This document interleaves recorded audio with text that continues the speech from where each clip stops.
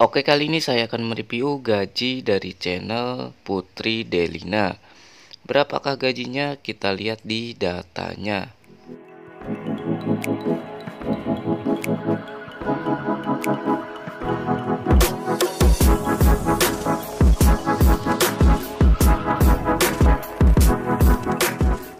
Ini dia channel dari Putri Delina, yaitu anaknya Sule. Channel ini mengupload atau mengunggah 174 video. Dan di sini subscriber atau pelanggannya yaitu 2.050.000 subscriber. Kemudian tampilan videonya atau penayangan videonya yaitu 140.865.763. Dan di sini negaranya yaitu Indonesia. Kemudian jenis salurannya yaitu hiburan dan channel ini dibuat pada tanggal 23 Maret 2015.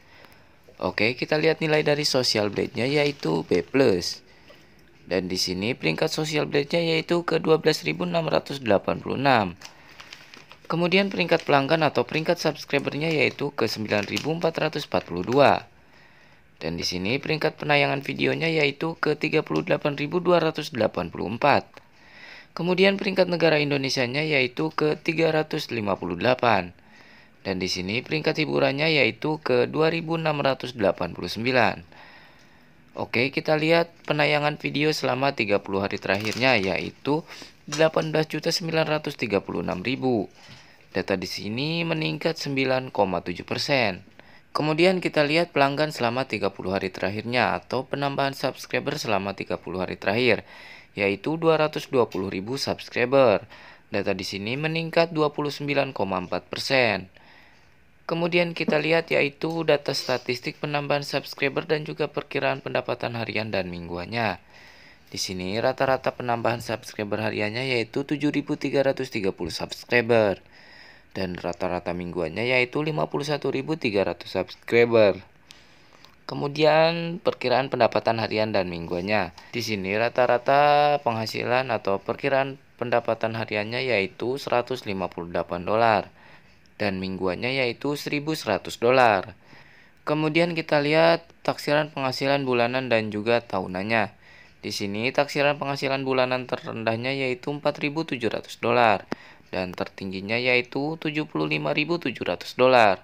Kemudian taksiran penghasilan tahunannya yaitu terendah 56.800 dolar dan tertingginya yaitu 908.900 dolar.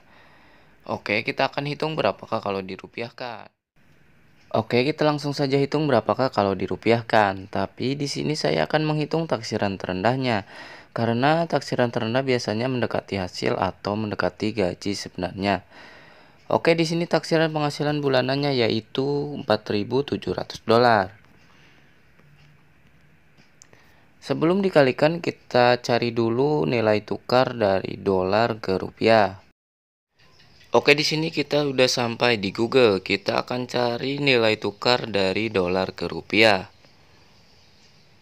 Di sini 1 dolar ke rupiah yaitu 14.151,40. Kita langsung salin aja. Oke, kita udah menemukan nilai tukar dari dolar ke rupiahnya. Tinggal dikalikan saja.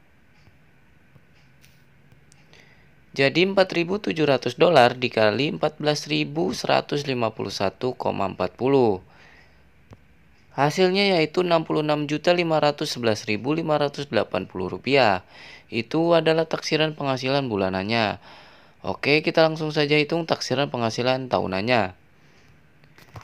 Yaitu 56.800 dolar. Dikali 14.151,40 rupiah. Hasilnya yaitu 803.799.520 rupiah. Itu adalah taksiran penghasilan tahunannya. Oke, data ini berdasarkan dari data Social Blade. Data sebenarnya atau gaji sebenarnya hanya yang tahu dari channel Putri Delina itu sendiri. Sekian info dari saya, semoga bermanfaat.